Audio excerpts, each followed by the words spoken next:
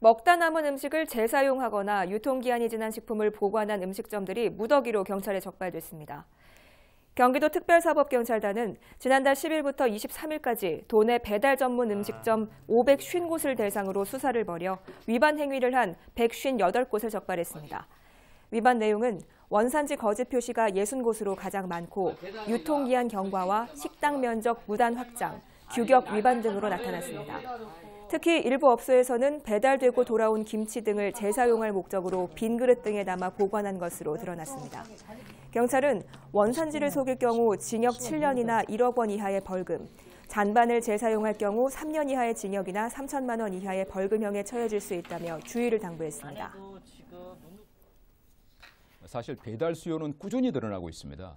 에, 그래서 어, 홀이 없는 주방이 가려진 이 배달 전문 음식점에 대해서는 특사경에서 예의주시하고 향후에 이런 에, 불량 식자재를 사용하지 못하도록 저희가 수사를 지속해 나가겠습니다.